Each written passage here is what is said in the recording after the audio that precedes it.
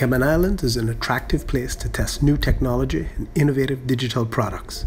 And now there's an even better, more efficient way to experiment offshore. Cayman Tech City, a special economic zone by Cayman Enterprise City, and OfReg have teamed up to offer a brand new program specifically designed for entrepreneurs and innovators. Launch Labs is making it even easier to innovate offshore with experimental business licenses and competitive concessions. Find your freedom.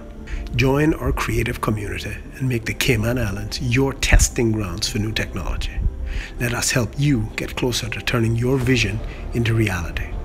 For more information, email innovate at caymanenterprisecity.com.